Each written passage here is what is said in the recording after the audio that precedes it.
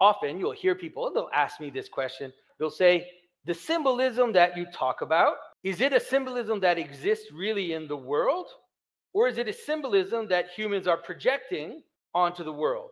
And I think one of the things that the image of the Son of Man is doing in Revelation is answering that question. In that imagery, there is a key to a solution to this problem.